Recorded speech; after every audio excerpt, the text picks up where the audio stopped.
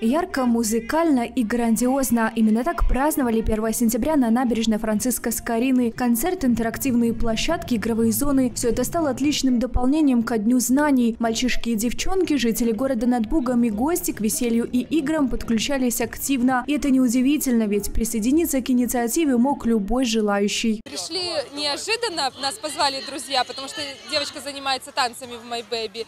А атмосфера очень хорошая, детская, для детей очень много всего развлекательного, познавательного. Праздник нам очень понравился. У нас дочка ходит э, в, 200, в два кружка, назовем так, танцевальный, выезд в студию. Выступала сейчас. Я думаю, для детей здорово. Все нам прекрасно нравится. Все время посещаем эти мероприятия. Довольный ребенок у нас участвует все хорошо.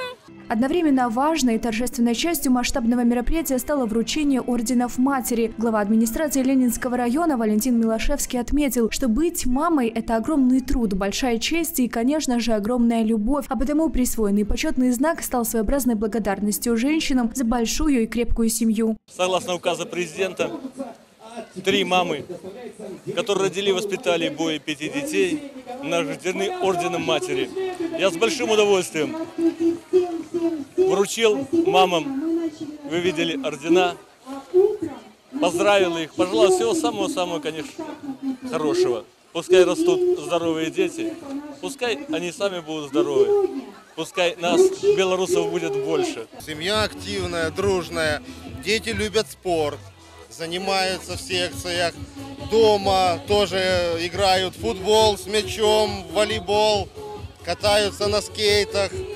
Ну, активно участвуют в разных мероприятиях. Таких праздников должно быть побольше. Все же это как-то объединяет семьи, знакомятся друг с другом мамы, папы и детишки тоже.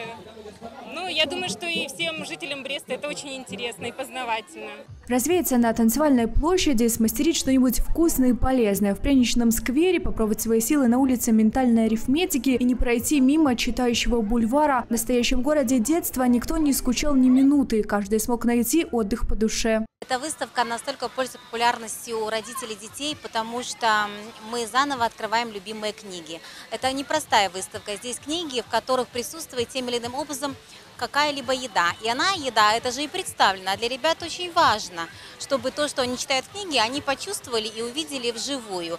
Также привлекает наша фотозона, одеваем фартуки вместе фотографируемся, берем в руки вот баночку с медами, которую любил Винни-Пух, или баночку с вареньем, и поэтому мы сами э, удивились, настолько родители э, заинтересованы в чтении детей. А для нас, как библиотеки, это очень важно. Организаторы позаботились о том, чтобы подготовить не только яркую, насыщенную, но и запоминающуюся программу. Благодаря такому масштабу получилось удовлетворить предпочтения всех умников и умниц. Друг за другом и стеной, знает это шаг